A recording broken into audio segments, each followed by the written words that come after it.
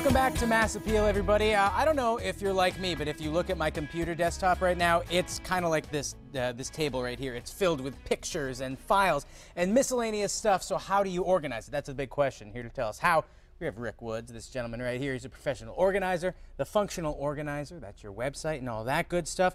So how do we do it? How do we get it clean? Okay, well, the big thing is you want to try to find a simple way to get all these files together so you can find them quickly and easily. So you mm-hmm. get an email from a friend, and he wants you to send you a file that, that you've had for a few months that you worked on, mm-hmm. and you named it, you don't remember what you named it, you No stored idea. it somewhere in your computer, you have no idea where it is. Yes. You go to the search function, you, right type in whatever the, the name is, and it doesn't come up. You're like, mm-hmm. oh, what was it? What was the name? Okay. And you, you're trying to rack your brain, you're trying to figure it out. Let's make it simple. Let's use our desktop.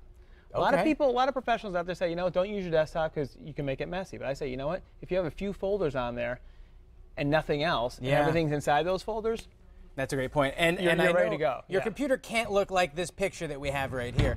Uh, but you can certainly try, and you can do it by kind of making it work for yourself. correct. Now, how do we get started? So the first thing you said is create those personal folders. What do we want to name them? Okay, so we have one for you, Seth, right? Oh, thank you very much. So we'll call that Seth. yes. There we go.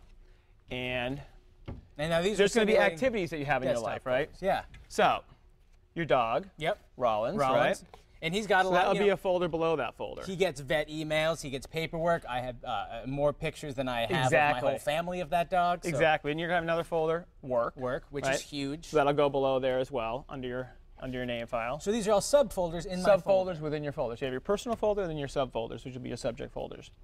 And then vacation, right? Nice, you like yeah. take vacations. I'm you going next week. There you go. So you have a little file there for your vacations. Baseball, Mm-hmm. sport you're into.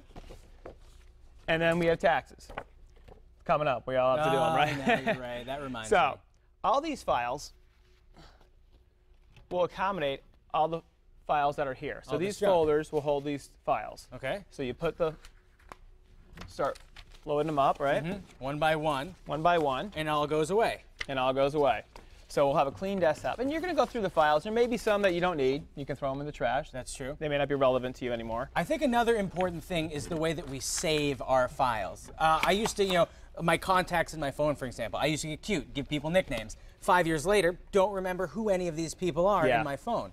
So I think it's all about uh, labeling the documents really well, too. Yeah, label. That's what it's all about. So now, when, once you create this system, right, and you're good to go, and everything's filed, everything's got a folder. You take all these folders and you stick them inside your personal folder. And then everyone who uses that computer or is a member of the household has their own folder. Exactly. So your wife would have her own folder and all her activities, and things that she's related to. Now, here's my question: because when you come on and you're talking about not full, uh, not you know the the fake world, we're talking about the real world. You always say throw out clutter, go over it. How often should we go through our computer files? Uh, we can go through at least once a month. That's, Okay. That's a good strategy. I mean, that's 12 times a year, which is a lot. That's true. I mean, if you can do it once every two months, that's good too. But if you can get in the habit of doing it once every month, you're gonna have a lot less clutter on your desktop. That's true. We all need that because if you looked at, if don't go into my office right now because it's a mess. Rick, oh, it's a it. pleasure having you here. it, Thank you so much. There's seven tips on our website, mymassappeal.com, of ways to make your e-life a little bit cleaner. Also.